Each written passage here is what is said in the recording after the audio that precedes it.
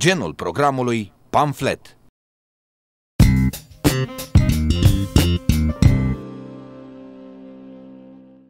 Încă un proiect, încă o amânare și vorba aceea, la asfaltări chiar ar trebui să ne pricepem.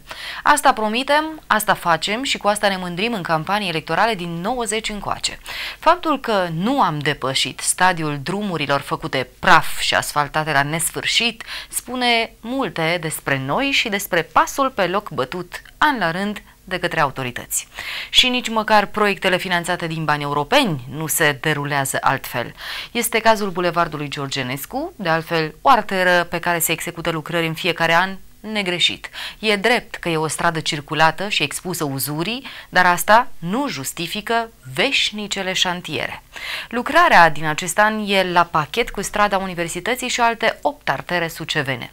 Pe Universității lucrurile au decurs relativ în regulă și la timp, iar sorții păreau prielnici și pentru Georgenescu. Când colo, ce să vezi, drumarii de la Victor Construct s-au împotmolit ca țiganul la mal.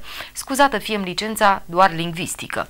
Odată ajunse lucrările în zona catedralei, acolo unde s-a dispus amenajarea unui sens giratoriu care să fluidizeze circulația, norocul nu ne-a mai surâs, iar utilajul performant cu care constructorii frezau strada s-a stricat. Ca urmare, promisa asfaltare de weekend s-a amânat pentru miercurea următoare. De fapt, e miercurea ce tocmai a trecut și a trecut așa cum a venit, pe nesimțite. Apoi a mai trecut un weekend, iar freza tot nu a putut fi reparată. Bănuim că utilajul este unul atât de nou și dispune de o tehnologie atât de avansată că nu avem noi specialiști care să-l înțeleagă și să-l îmblânzească. Nici măcar la București nu sunt. Asta au spus marți dimineață la comandamentul săptămânal de la primărie reprezentanții firmei. Apoi ne-au anunțat victorioși, cum altfel, dacă sunt de la Victor Construct, că au găsit soluția. Au împrumutat un utilaj asemănător. În câteva zile, chiar săptămâna asta, se vor apuca de treabă. Parol! O spun aceiași băieți care au zis că în weekend, apoi miercuri, apoi iar în weekend, iar astăzi e iar miercuri.